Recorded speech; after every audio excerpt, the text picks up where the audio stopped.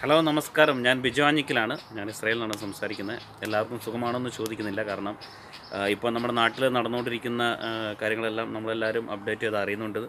സാമൂഹ്യ മാധ്യമങ്ങളിലും വാർത്താ ചാനലുകളിലും അതുപോലെ തന്നെ പത്രമാധ്യമങ്ങളിലൂടെ എല്ലാം നമ്മൾ വായിച്ചും കേട്ടും കണ്ടുമെല്ലാം അറിഞ്ഞുകൊണ്ടിരിക്കുകയാണ്. കൊറോണ എന്ന വലിയൊരു മഹാമാരി നമ്മുടെ നാടിനെ കാർന്നു നിന്നുകൊണ്ടിരിക്കുന്ന സാഹചര്യമാണുള്ളത്. നമ്മൾ അറിഞ്ഞുകൊണ്ടിരിക്കുകയാണ് നിരം ദിനംപ്രതി ദിനം പ്രതി നിരവധി ആളുകൾ ലക്ഷക്കണക്കിന് ആളുകളിൽ അത് ബാധിക്കുന്നു. ആയിരക്കണക്കിന് ആളുകൾ മരിച്ചുകൊണ്ടിരിക്കുന്നു. മറ്റു രാജ്യങ്ങളൊക്കെ അതിൽ നിന്ന് മോചനം നേടി വരുന്ന സാഹചര്യം ഉള്ളപ്പോൾ നമ്മുടെ രാജ്യം അതിന്റെ പിടിയിൽ പെട്ട് കഴിഞ്ഞിരിക്കുന്നു ഇപ്പം. പലവിധ ട്രീറ്റ്മെന്റുകളും പ്രതിരോധങ്ങളും എല്ലാം നമ്മൾ നടത്തുന്നുണ്ട്. പക്ഷേ ഒന്നും എത്തിച്ചേരാത്ത സാഹചര്യമാണ് നമുക്ക് നിലവിലുള്ളത്. എന്നിരുന്നാലും നമ്മുടെ ഭരണ തലത്തിലുള്ള പല വീഴ്ചകളും ഉണ്ടായിട്ടുണ്ട്. പല രീതിയിലുള്ള ഇടപെടലുകൾ ഭരണതലത്തിൽ ആളുകൾ ആരോഗ്യ പ്രവർത്തകരും സന്നദ്ധ സംഘടനകളും സർക്കാരുകളും ഒക്കെ നടത്തിയെങ്കിലും ഒന്നും നമുക്ക് വിജയകരമായി പൂർത്തീകരിക്കാൻ സാധിച്ചില്ല എന്നുള്ളതാണ് നമ്മുടെ ഏറ്റവും വലിയൊരു പ്രശ്നം. ഏതാണ്ട് നൂറ്റി മുപ്പത്തഞ്ച് കോടിയോളം വരുന്ന ജനങ്ങളുള്ള ഒരു രാജ്യത്ത് അഞ്ചോ ആറോ കോടി ആറോ ഏഴോ കോടി മാത്രം വാക്സിൻ ആണ് നമുക്ക് ഉൽപ്പാദന രംഗത്തേക്ക് എത്തിക്കാൻ സാധിച്ചിട്ടുള്ളൂ. അതും മുഴുവൻ ആളുകൾക്ക് ഫസ്റ്റ് ഡോസും കൊടുത്തു പോലും തീർക്കാൻ പറ്റിയിട്ടില്ല. ഫസ്റ്റ് ഡോസ് കൊടുത്തവർക്ക് സെക്കൻഡ് ഡോസ് കൊടുത്തു തീർക്കാൻ പറ്റിയിട്ടില്ല. അങ്ങനെ നിരവധി പ്രശ്നങ്ങൾ നമ്മൾ നേരിട്ടുകൊണ്ടിരിക്കുകയാണ് അപ്പോൾ ഈ ഒരു വിഷയത്തിൽ നമ്മൾക്ക് എന്ത് ചെയ്യാൻ പറ്റും എന്നതിനെക്കുറിച്ച് നമ്മൾ പരസ്പരം ആലോചിക്കേണ്ടതുണ്ട് എല്ലാവരും. നമ്മൾ വീഴ്ചകളുണ്ട്. സർക്കാർ ഭാഗത്തുനിന്ന് വീഴ്ചകളുണ്ട്. നമ്മൾക്ക് വീഴ്ചകളുണ്ട്. വ്യക്തിമാർ വ്യക്തികൾക്ക് വീഴ്ചകളുണ്ട്. സമുദായങ്ങൾക്ക് വീഴ്ചകളുണ്ട്. സംഘടനകൾക്ക് വീഴ്ചയുണ്ട്. രാഷ്ട്രീയ പാർട്ടികൾക്ക് വീഴ്ചകൾ വന്നിട്ടുണ്ട്. സർക്കാരുകൾക്ക് അതിലുപരി വീഴ്ച വന്നിട്ടുണ്ട്. അപ്പോൾ ഈ വീഴ്ചകളെല്ലാം നമ്മൾ കണ്ടില്ല. അല്ലെങ്കിൽ അത് അവർ അവരുടെ അവർ വീഴ്ച വരുത്തിയതുകൊണ്ട് നമുക്ക് എന്തോ എന്നുള്ള നിലപാടിലേക്ക് നമ്മൾ പോകാതെ ഈ പ്രശ്നങ്ങൾ എങ്ങനെ പരിഹരിക്കാം എന്നതിനെക്കുറിച്ച് നമ്മൾ നോക്കുക. കാരണം കുറച്ച് സമയം നമ്മുടെ കോവിഡിന്റെ അളവ് കുറഞ്ഞു നിന്നപ്പോഴത്തേക്കും നമ്മൾ വിചാരിച്ചു നമ്മുടെ ഗവൺമെന്റുകൾ വിചാരിച്ചു നമ്മുടെ രാജ്യത്ത് നിന്ന് പോയി എന്നാണ് നമ്മളെല്ലാവരും വിചാരിച്ചത്. പക്ഷേ അത് പോയില്ല. അത് അതിശക്തമായി തിരിച്ചു വരികയാണ് നമ്മുടെ ഇവിടെ ഉണ്ടാവുക ചെയ്തത്. അതിശക്തമായി തിരിച്ചു വന്നു.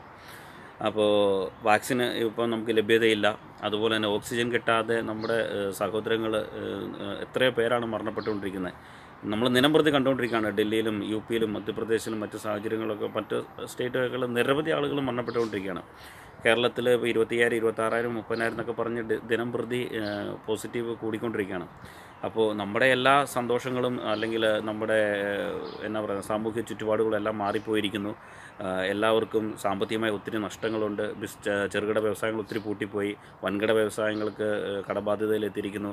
സാധാരണക്കാരന് ജോലി ഇല്ലാതിരിക്കുന്നു തൊഴിലാളികൾക്ക് തൊഴിൽ നഷ്ടപ്പെട്ടിരിക്കുന്നു. പ്രവാസികൾ ജോലി നഷ്ടപ്പെട്ട് തിരിച്ച് നാട്ടിൽ പോകുന്നു. അങ്ങനെ നിരവധിയായ പ്രതിസന്ധികൾ നമ്മൾ അഭിമുഖീകരിച്ചുകൊണ്ടിരിക്കുന്ന ഈ സമയത്ത്.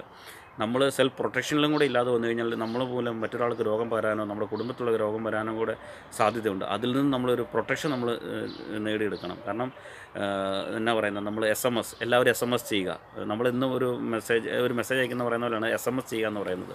എസ് എം എസ് എന്ന് പറഞ്ഞു കഴിഞ്ഞാൽ നമ്മൾ സാനിറ്റൈസ് യൂസ് ചെയ്യുക മാസ്ക് യൂസ് ചെയ്യുക അതുപോലെയുള്ള സോഷ്യൽ ഡിസ്റ്റൻസ് കീപ്പ് ചെയ്യുക. അതാണ് നമുക്ക് ഏറ്റവും ചെയ്യാൻ പറ്റുന്ന ഒരു കാര്യമെന്ന് പറയുന്നത്.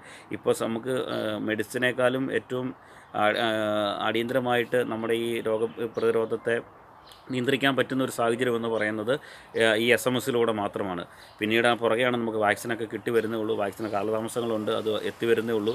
നമ്മൾ കണ്ടുകൊണ്ടിരിക്കുകയാണ് പല സ്റ്റേറ്റുകളിലും ഓക്സിജൻ കിട്ടാതെ നിരവധി ആളുകൾ മരണപ്പെട്ടിരിക്കുന്നു ഇന്ന് ഞാനിപ്പോൾ ഈ വീഡിയോ ചെയ്യുമ്പോൾ ഇരുപത്തിനാല് ഇരുപത്തിനാല് നാല് രണ്ടായിരത്തി ഇരുപത്തൊന്ന് എന്ന് പറഞ്ഞ ഡേറ്റിൽ ഞാൻ വീഡിയോ ചെയ്യുമ്പോൾ ഇന്ന് ഇപ്പോൾ കേൾക്കുന്നു ഡൽഹിയിലെ ഇരുപത്തിയഞ്ച് രോഗികളും വാക്സി ഓക്സിജൻ കിട്ടാതെ മരണപ്പെട്ടു എന്ന് പറയുന്നു. ഇന്നത്തെ അപ്ഡേറ്റ് ന്യൂസ് ന്യൂസോടെ കേട്ടതാണ്. അപ്പോൾ എന്താ എന്തായിരുന്നാലും നമ്മൾ എല്ലാവരും കെയർ ചെയ്യുക. അതുപോലെ തന്നെ കേരളത്തിലെ മുഖ്യമന്ത്രി വാക്സിൻ ചലഞ്ച് എന്ന് പറയുന്ന ഒരു പരിപാടിയെക്കുറിച്ച് പറയുന്നത് കേട്ടു. എല്ലാവരും കൊടുക്കാൻ തയ്യാറാണ്. അതായത് ഇപ്പം പ്രവാസികളായിട്ടുള്ളവരും ബിസിനസ്സുകാരായിട്ടുള്ളവരും സർക്കാർ ഉദ്യോഗസ്ഥരായിട്ടുള്ളവരൊക്കെ ഈ ചലഞ്ചിൽ പങ്കെടുക്കാൻ തയ്യാറാണ്. സന്നദ്ധ സംഘടനകളും രാഷ്ട്രീയ പാർട്ടികളൊക്കെ തയ്യാറാവും. പക്ഷേ എനിക്കൊരു പറയാൻ ഒരു കാര്യം ചോദിക്കാനുള്ളത് നമ്മുടെ രാജ്യത്തെ രാഷ്ട്രീയ പ്രവർത്തകർ അതായത് രാഷ്ട്രീയം വഴി എം പിമാരായിട്ടുള്ളവരും എം എൽ എമാരായിട്ടുള്ളവരും മന്ത്രിമാരായിട്ടുള്ളവരും ഒക്കെ ഉണ്ടല്ലോ ഒത്തിരി ആളുകളുണ്ട്. അവരൊക്കെ ഇപ്പോഴും നല്ല സുഖലോലുപതി തന്നെയാണ് ജീവിക്കുന്നത്. അവരുടെ പ്രൈവറ്റ് സെക്രട്ടറിമാർക്കും അവരുടെ കീഴിൽ പണിയെടുക്കുന്നവർക്കൊക്കെ ശമ്പളത്തിനൊന്നും യാതൊരു കുറവില്ല. അവർക്കും ശമ്പളത്തിനും ബെനിഫിറ്റ്സിനൊന്നും ഒരു കുറവും വരുത്തിയിട്ടില്ല. സാധാരണക്കാരന് ജോലി ഇല്ലാതിരിക്കുന്നു അവന്റെ ബാങ്കിലെ കുടിശ്ശിക വന്ന് കിടക്കുന്നു പലിശയിൽ ഇളവുകളൊന്നുമില്ല അവനാകെ നട്ടം തിരിയുന്ന സാഹചര്യം.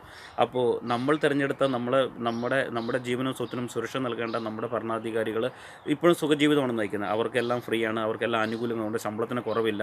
അവരുടെ ശമ്പളം കൂട്ടുന്നു അവരുടെ കൂടെയുള്ളവരുടെ ശമ്പളം കൂട്ടുന്നു. അതൊക്കെ ചെയ്തു വരുന്നു. നിങ്ങൾ ഞങ്ങൾക്കൊരു മാതൃകയായി തരിക. ഒരു രണ്ട് മാസ മാസത്തെ ശമ്പളം നിങ്ങളുടെയും നിങ്ങളുടെ കൂടെ വർക്ക് ചെയ്യുന്നവരുടെയും പ്രധാനമന്ത്രി മുതൽ അല്ല രാഷ്ട്രപതി മുതൽ താഴെ ഒരു ബ്ലോക്ക് പഞ്ചായത്ത് മെമ്പർ വരെയുള്ളവരുടെ രണ്ട് മാസത്തെ ശമ്പളമെങ്കിലും പൂർണമായിട്ട് ഈ കോവിഡ് വാക്സിനേഷനും അതുപോലെ തന്നെ ഓക്സിജൻ സിലിണ്ടറിനും ഒക്കെ ആയിട്ട് മാറ്റിവെക്കാൻ തയ്യാറാവുകയും ഒരു ആറ് മാസത്തെ ശമ്പളം പകുതി ഇതിനു വേണ്ടിയിട്ട് മാറ്റിവെക്കാൻ നിങ്ങൾ തയ്യാറായി മാതൃക കാണിക്കുക.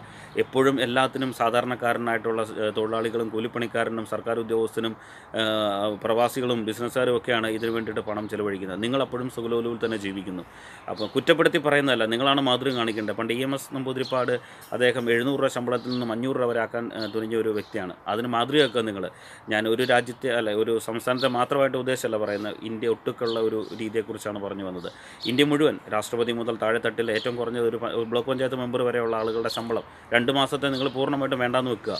ഒരു ആറ് മാസത്തേക്ക് നിങ്ങളുടെ ശമ്പളത്തിന്റെ പകുതി മതിയെന്ന് വിചാരിക്കുക. ഇതൊക്കെ രാജ്യത്തിന്റെ സുരക്ഷയ്ക്ക് വേണ്ടിയിട്ടും അതുപോലെ തന്നെ ഈ കോവിഡ് പ്രതിരോധ പ്രവർത്തനങ്ങൾക്ക് വേണ്ടിയിട്ട് ഫണ്ട് വിനിയോഗിക്കാൻ തയ്യാറാകുക. അപ്പോൾ ജനം കൈയും കൈയും അകഞ്ഞ് അവരും സഹായിക്കാൻ തയ്യാറാകും. മറ്റ് കൂടുതലൊന്നും എനിക്ക് പറയാനില്ല. എല്ലാവരും എസ് എം എസ് ചെയ്യുക. സോഷ്യൽ ഡിസ്റ്റൻസ് കീപ്പ് ചെയ്യുക സാനിറ്റൈസർ യൂസ് ചെയ്യുക മാസ്ക് യൂസ് ചെയ്യുക. നമ്മുടെ രോഗപ്രതിരോധ ഈ ഈ നമ്മുടെ കൊറോണയുടെ ഈ ചെയിൻ കട്ട് ചെയ്യുക ബ്രേക്ക് ചെയ്യുക നമ്മൾ മാക്സിമം ആവശ്യമില്ലാതെ ആരും വീടുകളിൽ നിന്ന് പുറത്തിറങ്ങാതിരിക്കുക. നമുക്ക് നമ്മൾ തന്നെ ഉള്ളൂ. മറ്റാരും നമ്മളില്ല അവരെ ഇവരെയും കുറ്റം പറഞ്ഞിട്ട് ഒരു കാര്യമില്ല കുറ്റം വിധിക്കാൻ മാത്രമേ നമുക്ക് പറ്റത്തുള്ളൂ. വീഴ്ചകൾ ചൂണ്ടിക്കാണിക്കാനും നമുക്ക് പറ്റത്തുള്ളൂ. അതിൽ നിന്ന് പരിഹാരം ഉണ്ടാകുമെന്ന് നമ്മൾ പ്രതീക്ഷിക്കരുത്. നമ്മൾ നമ്മളെ തന്നെ കാക്കാൻ ശ്രമിക്കുക.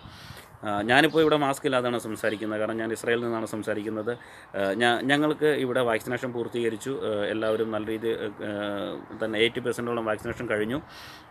ഇവിടെ കഴിഞ്ഞ അവരുടെ സ്വാതന്ത്ര്യത്തിന്റെ ഡേറ്റിൽ അവർ ഇവിടെ മാസ്ക് നിർബന്ധമല്ലാന്ന് പ്രഖ്യാപിക്കുന്ന സാഹചര്യം ഉണ്ടായി ചിട്ടയായ പ്രതിരോധ പ്രവർത്തനങ്ങളും അതുപോലെ തന്നെ വാക്സിനേഷനുകളും എല്ലാം അവരുടെ നിയമങ്ങളെല്ലാം ഇവിടുത്തെ ജനം ആ രീതിയിൽ തന്നെ ഫോളോ ചെയ്തുകൊണ്ടാണ് ഇങ്ങനൊരു വിജയം അവർക്കുണ്ടായത്. ദൈവം അത് കണ്ടിന്യൂ ചെയ്തു പോകാൻ അവർ അനുഗ്രഹിക്കുമെന്നും വിശ്വസിക്കുന്നു. അപ്പോൾ എല്ലാവർക്കും ദൈവം നല്ല ആയുസും ആരോഗ്യം നൽകട്ടെ എന്ന് പ്രാർത്ഥിക്കുകയും അതോടൊപ്പം തന്നെ ഈ കൊറോണ വൈറസ് എത്രയും പെട്ടെന്ന് ഈ രാജ്യത്ത് നിന്ന് മുക്തമാകാൻ വേണ്ടി എല്ലാവരും പ്രാർത്ഥിക്കുകയും ചെയ്യുക അതിനുവേണ്ടി പ്രയത്നിക്കുകയും ചെയ്യുക എന്ന് മാത്രം പറയുന്നു. Thank so much thank